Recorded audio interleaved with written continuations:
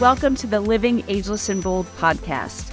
Each episode, I bring you amazing women who inspire, educate, and share their experiences and journeys along the way. So grab a glass of wine or a cup of coffee, find a cozy spot, and let's relax and have some fun hearing what can be accomplished after 55. I'm your host, Christina Daves, and in every episode, I just love bringing amazing women to the podcast that they're either going to share their experiences or give you great information or just share what they've learned along the way on their journey.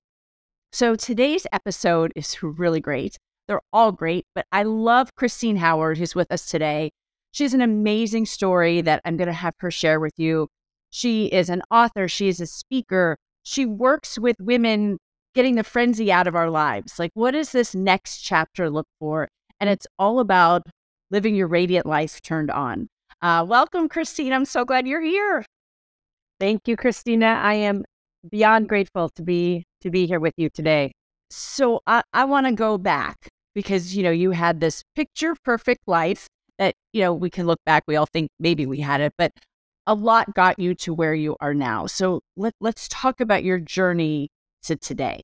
Sure. Happy, happy to share. So I, I think there was a key part in my life that happened in uh, around that 2014 timeframe. I was a wife, a mom of two teenagers. I was starting to see this empty nest coming in front of me here and really being able to rejuvenate my career, my relationship with my spouse and and have like a whole new kind of like lease on life. And it was really looking to be an exciting time. My husband was a very successful professional. We we truly had a lot of blessings in life, and um, really we're living really what looked to everybody as a good life. And externally, it was absolutely that way. But I will say, inside, I definitely was feeling this tug of of the years where I really denied some core things about myself. And I know there's that whole thing of being the mom and the wife and really balancing everything. I'm all about that. But for me, I ignored um, one of my big bad, bad habits and patterns was like really bad self care. And I like to frame it this way like self care was emergency stops only. And and it was this like we've heard this, we're on that treadmill, that go, go, go. I had mm-hmm. been like raising my kids, supporting my spouse's career, you know, journey. And, and I was on that treadmill for many years. So 2014 came and I made this decision that I'm going to up my coaching certifications. And I was actually working on a, a health coach certification and dealing with some stresses still at that time, you know, teen years, two teens, uh, a year apart very tough times, one hyper focused on school, one exactly the opposite. And it was tough, tough. How do two people have two kids so different, right? It pol- seriously polar opposites, and it, it, they've since come closer together. But in that those teen years, it was so tough, and and um, so I was um, my career was going through a health coach certification. I was thinking, oh, maybe this is a new path for me as a health coach. I was very health conscious and um, I went in for my routine mammogram in 2014 and was diagnosed with early stage breast cancer. Now, if you ever want to get a breast cancer diagnosis, like thank goodness this was the best one you could ever have because it was pre-cancer. It was in some world they call it precancerous, but in the Western world it was cancerous, and they wanted to treat it just like they would if you had invasive cancer. So they wanted to do a whole slew of things, which I, interestingly enough, in my my health coach certification, it was all about cancer. So it gave me a whole new perspective as I was oh. going through it. And and that was like I call that wake up call number one. And a big lesson out of that was that I really was not taking care of myself at, at a physical and an emotional level. And the result of that was the dis the big dis-ease that was in my body. So I went through holistic treatment, some Western medicine, um, surgeries, and then I got a clean bill of health. So, you know, crisis number one dealt with, but I will say during during my health uh, wake up call, my my 21 year marriage uh, imploded, exploded, however you want to look at it. It basically ended. And during that time, it, it went from me looking at self care and taking care of myself to truly like dropping all the baggage that I had been carrying in my life, like all these unfulfilled dreams and promises and wishes and hopes and and actually even a lot of controlling of as I looked at myself and where I was really trying to control things in my life that wasn't my business to control. So, the end of my marriage, I went into this really deep dive of really turning over every rock in my life. Like, how did I get here? How did I be? Was I this devoted mom and wife and and really denied all these things that I wanted for myself? And how did I get here? It was truly a very humbling, humbling experience for myself to to look at it. And, you know, regardless of the choices of my husband, it really, I brought it back to me and claimed and owned my part of the relationship and my part of my journey in life. And, and out of mm-hmm. that, it takes go ahead. two people. No, it's, it does. You know, and people watching, you can't beat yourself up. You can't blame yourself 100%. You can't blame another person. It, it takes two people for anything. It does or not work. Totally. And this self realization that you did sounds actually amazing and probably was very cathartic to uncover things as you went and grow as a person. Huge, huge. Yeah, I. Yeah. It was one of those divine timings where, like, uh, and and I, I truly think God had my. I know God had my back, and He knew I was not living to my fullest potential, and you know, again, we can look at the conditioning of our lives and and I'm not I'm I'm pro marriage, I'm pro family, I'm pro all that stuff, but for me, there were some very strong um, beliefs and conditioning that really were in place, and I was very much an either or. Either I was a great wife and great mom, or I was an, a businesswoman, and and I could not like my brain could not comprehend that they could they could flow together. So, so part of that journey was really uncovering all this. And I was just, and I don't mean to interrupt you, but as I'm go, go, please do. watching, is we've all been there. I mean, it's, I know it in my community. Sometimes it's hard because it was a lot of stay at home moms, and I was this crazy driven woman, you know, that, but I'd be at the swim team practice. And so it's, it's conflict that I caused myself. Nobody cared. Nobody judged me, but it, it is. And can you do both? Can you right. a great wife and mother? And can you run a successful business? You can, but you can. A lot of imposter syndrome. There's there's a lot of things that go go with it for women who are like us and women watching. Absolutely. It it's hard it's hard. Well, that's where you come in. We'll get to that too. But yeah, yeah, yeah. Uh, but yeah, so so yeah, so that was my I, I started seeing all these beliefs. Yeah, all these beliefs and and mindsets that that got me to where I was. And in a couple of the big pivotal things that came out of it was I was really looking externally for validation. I wasn't claiming and owning those ideas and those gifts and talents I was bringing to the degree that they were calling to me to be lived, experienced, and expressed. So I was like self denying and looking again for that approval. I saw that I was not truly loving myself. This was huge, huge realization in that I could say logically, I love you. I could look in the mirror and say, I love you, but I could not feel that love for myself. And so, you know, I, I realized until I truly began to love myself wholeheartedly, you know, I could see why I was denying myself because I, I wasn't owning my worth. I wasn't owning who I was uniquely as a person. And and that was a big realization. And what was that process to yeah, learn to feel love for yourself? Yeah. So I started doing mirror work, Christina. And when I first looked in the mirror, and it was just one of those things that came to me in an inspired way. I didn't, I hadn't even really learned about mirror work at all. But one day in the mirror, I was doing my makeup and I looked at myself and, and really I saw this shell of a woman and, and I realized this is, I knew this wasn't who I innately was. So I just said hello and I smiled at myself and I felt really awkward. really awkward. And then the next time I did it, I said, hello, I love you, and just sat with, how does that feel? And at first there wasn't, there wasn't feeling there, but I realized I needed to draw out that love. And, and I don't know if I had been going through some other, cl- I might have been going through a class at a time, but again, just like I can visualize my granddaughter now or my kids and like I can feel love for them. So I really evoked that toward myself. And then I just, I sat in that feeling. So I'd say, hello, I love you. And then I'd say something positive about myself and really acknowledge myself for something I'd done, something I was proud of, quality that I possessed that I really appreciated. And little by little, every day, every day, every day, I, I felt more alive. I felt more connected with myself. It was almost like I was turning up that dimmer switch on who I was. And, and little by little, it really started igniting shifts inside me where I became more confident, more happy.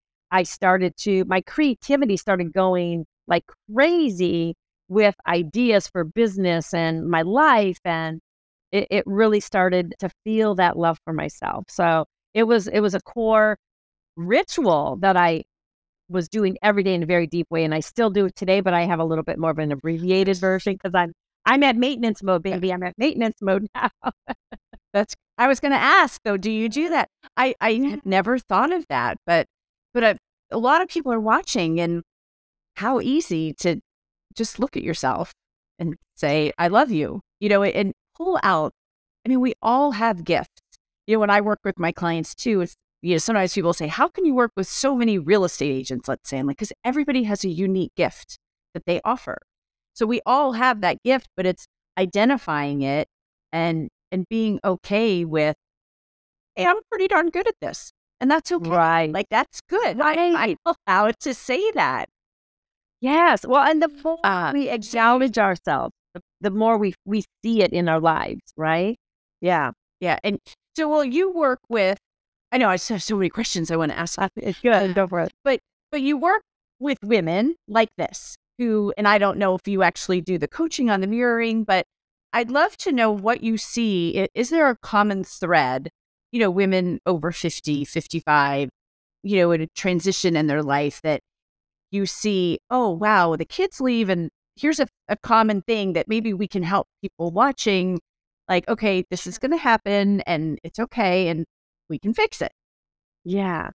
Well, I think the, the common thread that I see, and uh, and I, you know, whether it's a woman that has had a professional career and now she's shifting for, you know, for whatever reason she's done working for somebody else and she wants to work for herself or empty nest. Like the common thread is each one of these women are just really feeling this inner stirring, inner, inner yearning, inner like desires in a way they cannot ignore it anymore.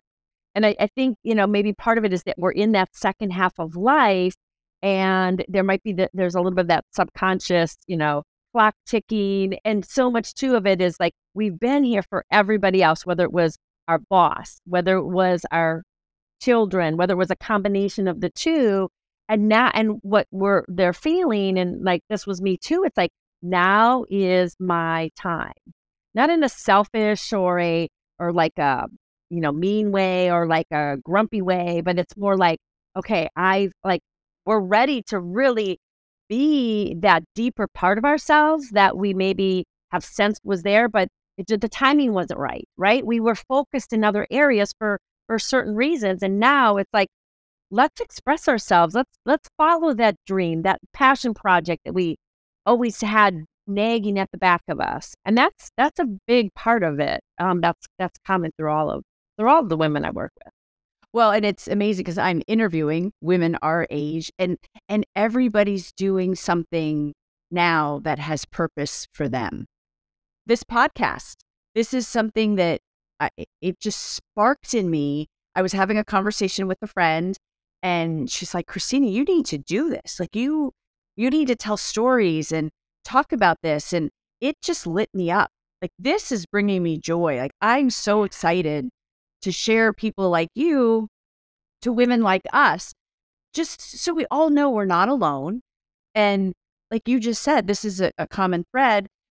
But I also think that a lot of women don't know how to do it. Like I had right. help me with this. You know, so this is where you come in. Like what talk about the kind of women that you work with and the shifts you help them make. Um, yeah. Because like you said, I, I can't tell you how many of my friends, 30 years in corporate, they're retiring now in their mid 50s. It's like, wow, I got another 30 years. I have a whole another career at least of me if yeah, I want it. Right. The world, right? Right. Does our well, oyster. It is our oyster. And the, the thing is there's there's a lot of beautiful things we can take from our corporate career. I had a 17 year career in information technology. It brought some great school tools and skills and and uh, habits for me. But there's a whole nother set of thing, and this is where I come in. This is where women I think can kind of flounder because when you're you're doing that external climbing the corporate ladder, whatever it is, a lot of times we're we're taught to be here, think strategically. We're we're in our head. We're power planning. We're strategizing, and and we're we're not connected to this, to this, to our heart, to you know. I, I'm a big soul person. You know, our heart and our soul, our intuition. And I know for me that was a huge shift in my journey, and part of that healing process is I I saw firsthand where I was not listening to my intuition, to my heart, to what my soul was calling to me. I was so externally focused. So I help women really get back and connect with all of themselves, with their their intuition, to, um, to start to to listen instead of think was a huge shift because we are so wise. We have so access to so much wisdom through, you know, whatever your beliefs are, God, source, universe we don't have to work so hard and this is a very hard thing to take come to grips with is we can work in a completely different way in the second half of our life where we allow ourselves to receive support ideas insight and then we take inspired action. And so p- part of my whole life reorientation is what i help other women do. Like i call it radiant achievement radiant leadership a radiant lifestyle but it's really letting go of a lot of the conditioned corporate, you know, beliefs and structure and coming back home to ourselves to, like you said, what, what this really sparked you, it lit you up. So, how can we get ourselves still and quiet and create space for ourselves to be inspired by what is innately inside us? And then to start to show up and pursue those things with trust, with patience, with receptivity, without trying to force and make stuff happen. Um, it, it's a it's a completely new, it's a 180 degree reorientation, but it's it's such a beautiful journey when we allow ourselves to shed some of the old things that really don't serve us, keep the things that do, but let ourselves live from this inspired journey where we don't have it all figured out. Just let it unfold a little bit at a time. And you talked about intuition. That's something that I've really leaned into in my 50s. And I don't know if it's a confidence thing or I've had more time to breathe, you know, as an empty nester, you know, when the kids went away, but but your intuition's pretty powerful stuff. And and it's a it's really a thing. Like you really do. So listen to what your gut is telling you uh, you know, we, and we talked about that raising kids. You know, the doctors tell you this, and I tell this to all the young moms. I'm like, you you've got to go with your gut. A doctor might tell you something to do with your child, but listen, you know, what your insides are telling you. And I've really, really embraced that in my 50s, and it's really changed a lot of things that I've done. Awesome. I love it. I love it. Well, and it's so easy for us to do that for others. I love the example you gave of how we do that with our children, right? We can we can do that much more easily for others, but when it comes to ourselves, you know, again, whether it's conditioning or, or whatever, we just we doubt it. And I remember, and this was part of my journey leading up to the cancer, it, and we don't realize it. So this is like I'd love to really emphasize this point. When we discount our intuition, we ignore it, we deny it, we are really creating dis-ease in our bodies in our life in our psyche in our in our, in our mental health so I, I am not surprised at all that I where I ended up because I had denied, denied, denied, discounted went against it. And I could just feel, you know, you feel that little stab of the heart when you do it sometimes. We don't, we, I think we women just maybe don't realize the, the collective impact of the denial. So yeah, play, play around with it. It's never wrong. We have to learn to trust it. And it's like a muscle, just like anything else. The more we, we trust it and practice it, the bigger it gets and the more fun synchronicities and serendipities unfold as a result.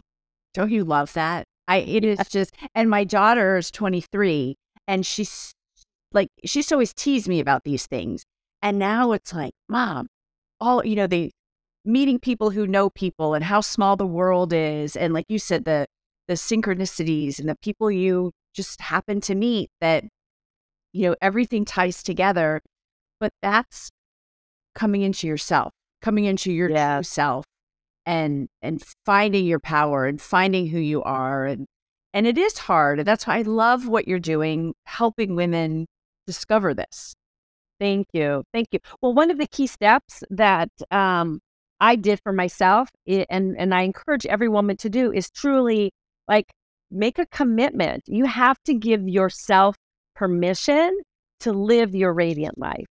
No one's going to do it for you you can have the best spouse in the world, the most wonderful friends and children, and and yet they're not going to really get you the way you get you. So I remember drawing, and I write this in my book. I drew a line in the sand one day, and I put the stake in, and I said, "Never again am I going to deny the callings of my soul. I don't care how small they are, how big they are, how long it takes me.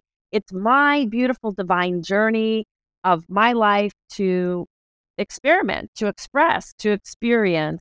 And and when we give that permission to ourselves, guess what? It creates a ripple. And it, it's, you know, it's for our health and well-being and happiness and joy and fulfillment. Then it ripples to who? Our family and our friends. And then that ripples into the world. So, you know, I know every one of us, and you mentioned it, like this second phase about really having a more being on purpose and living more purposefully it's amazing. And, and the, some of the feedback I've gotten that just blows my mind because we don't think we're really making that big of a difference sometimes. But when you get an email or a message from somebody whose life you touched, even if it was a small interaction, it, it truly recommits and reconfirms the power that we have through just being ourselves and following what is truly in a very authentic way in our heart and on our soul to do, that's the best gift we can give ourselves, our family, friends, and the world. I, I can't believe you just brought that up. I got an email yesterday. Uh, so I mentor students at Virginia Tech, which is my alma mater. And every couple years, there's one that just really listens to what I say when I come into the classes, takes it all to heart, and I really become friends with them. And uh, this young man is a senior now, and really was struggling that, you know, back in November, he didn't have a job. And, you know, I said, Trace, what company are they working for? Of course, are these big companies that hire back in November. I'm like, is that where you want to work? And he's like, no. So I sent him these little cards, like every day he had to open them, inspirational cards. And he sent me this email. I was bawling, where he, oh. he writes things that I've said to him on his mirror. And he opened the card. He just got, I should finish this. He just got his dream job they actually created the position for him. He will have six people working for him. Wow. Unbelievable. And, but I kept saying, don't give up. Don't give up. You're amazing. You're amazing.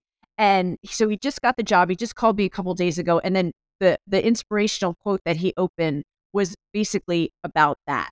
And he's like, thank you for, you know, I love you so much. Thank you for believing in me. And all, and I was just like, one person, I changed one person's life. That's yeah. To be able to do that once in your lifetime, and you might never know what you've done. Exactly. But it, it, I, I can't, I it was just, like I said, I was just bawling. Like no. it just is so empowering. It makes you feel so good.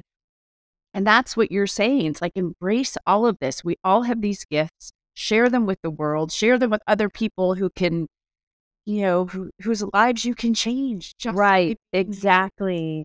Exactly. And I and I love it. It's you so you doing the mentoring is is you doing something that brings you joy, that is fulfilling to you, that lights you up, right? So that's a perfect example. And then and just you being you, and people and opportunities are going to pre- present themselves, we don't even have to figure it out, right? So this young, you didn't go searching like, I want to change some person's life. You're just bringing your gifts forward. And then this beautiful cycle that just naturally unfolds and um, beautiful. Thank you for sharing that. That was a great, great, powerful story. Okay, so you talk about mantras. You have certain mantras that we all need to embrace. Tell us about those. Yes. So it, it, the mantras actually started when I was doing the mirror work. And I actually ended up creating a line of products out of that, these makeup, mantra makeup mats. And one of the ones that really was powerful for me was, um, and I have several. So the first one was beauty is being the best version of me inside and out. And and I really embrace that. And I encourage every woman to really think of their beauty in, in the terms of you truly being your best self in, in every way because I saw this in myself. I became so much more radiant. Like, and I felt like I got more beautiful the older I got, which is fantastic. I think this is like my version of anti-aging. Yes, because you're just when you're you're living on purpose and you're being yourself, you you become magnetic and radiant and and people are like, what do you got going on there? You look younger and you're acting, you just are glowing. So um, I, I have a T-shirt that says that, and I just it's a big one, and it helps me really also stay out of comparison. You know, we've we've heard all those stories, and you see all the social media and the airbrush this and the, you know, whatever. You don't know what's true and what's not. Like I own who I am. I own every wrinkle I have. Like I am my own, you know, version of beauty, and that's all I can be. And when I embrace that, it I just feel better. I feel happier. I am happier. So that that's mantra number one. And then a second one, and I know exact this is great for the audience because this again was powerful for me. I felt like a late bloomer, like my whole life, truly, like with makeup and hair and fashion and and everything. I've just been like the last one to kind of figure it out. But eh, so my mantra is it's never too late. It's never too late. And if we have, if I have, or you have, or, you know, the if you're watching and you still have something calling to you, speaking to you, you can absolutely bring that to life in a way that is in alignment with where you are in your life right now. Like, you know, I so look forward to relaunching my show and not just having it be on YouTube, but having it be a podcast, being on TV more, doing all these things. Like, I know there's, there's, I, I can't even see the top, the top of the mountain. And that's okay because I'm enjoying every step. So it's never too late. Just keep taking one step at a time. Um, uh, and then I here's love that. I good. Oh, sorry. keep going. These are That's so fine. good. good. And then I have last, and then I have one last one, and that is, and this was a core one in my early healing is I am enough. I am enough where I am with everything, personally, professionally. I am enough with, I have everything I need to truly live my most happy, fulfilling, joyful, abundant, successful life. I I don't, you know, it's this thing of self-acceptance, self-love, and self-worth. So it that's just a core powerful mantra that um, will be with me forever. oh my gosh. They're they're perfect. And for this audience, they're perfect. Uh, before we wrap up, before you go, I have two questions that I ask every guest. Uh, okay. Uh, the first one is uh, what is your biggest accomplishment since you've turned 50? Well, I it's non-professional and I don't think I ever told you this. It's okay. But when when I was 51, I competed for the last time in fitness competition, which is kind of it's not bodybuilding, but it's like all about being fit and lean and muscular.